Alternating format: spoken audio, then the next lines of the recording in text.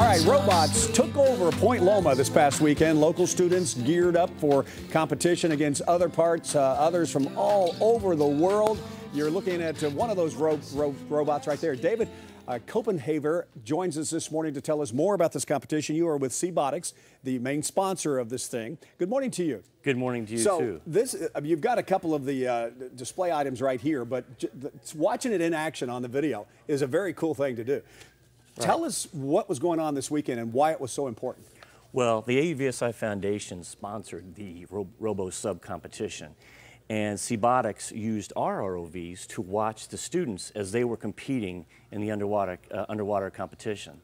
Then we took the output of our robots and took that to a giant Jumbotron screen so that all of the participants and the teams could see what was happening above the water as well as below the water. So how does the competition work? How do you know who wins? I mean, we'll get to who won in a little bit, but I mean, what are you looking for in the competition? Well, students have a number of things that they're doing. They're writing a business plan, they're writing uh, their marketing plan, they're writing a plan for their public relations, and they're then competing in the water against each other to go through a competition where they have to do a number of different tasks that are quite difficult.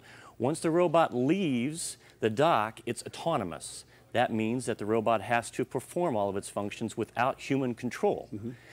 Um, those kinds of things are quite difficult for high school and college students sometimes, no but kidding. these kids are really brilliant. They come from schools here locally, as well as schools from uh, uh, uh, uh China, mm -hmm. Russia, Canada, and throughout the world. So how many schools were we talking about competed this weekend?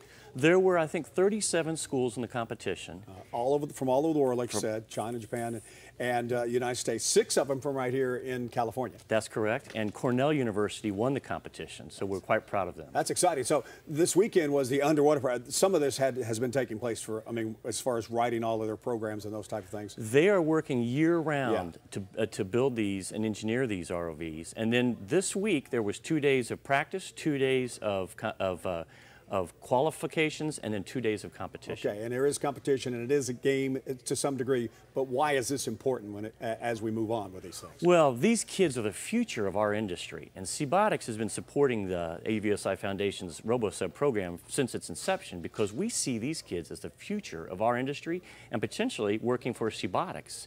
These kids are extremely innovative, and as programs like STEM are supporting the science, technology, engineering, and math, we see the, the, the innovation in these kids. They have no boundaries in their right. thinking. I remember one particular kid, I, I saw he had a flip-flop in the middle of his RV, and I said, what, what is that?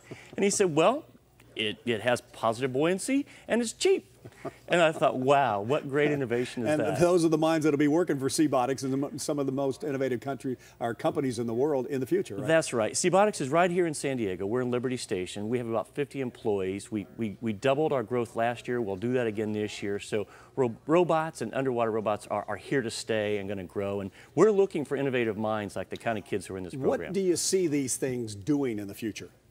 Well, right now they're doing everything from working for the Navy EOD and special operations to oil and gas. Mm -hmm. Also, they're looking for things like uh, sunken ships and sunken airplanes. You know, that 70% of the Earth is, is, is, is, ocean, and the amount of it that we've uh, actually documented is about the size of Virginia. Yeah. So we got a lot of discovery to do with robots. Did California schools represent themselves pretty well?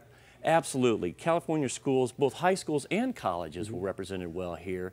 And we see this competition just growing year after year. Um, it's grown in the last, uh, this was the 15th year of the competition, and each year it grows more and more with things like this year with the new Jumbotron. Sure. Just keep adding new dimensions to it. And uh, it's really, truly what it comes down to is the innovation of these kids and the future of our industry and the future of robots. And, and hopefully SeaBotix can continue to be a part of all that. So we do have a Super Bowl here in San Diego. It's just, it's just SeaBotix, right? That's exactly right, yes. and the robots under the sea. Thank you so much for being with us, Thank we you for your time. Good morning. All right.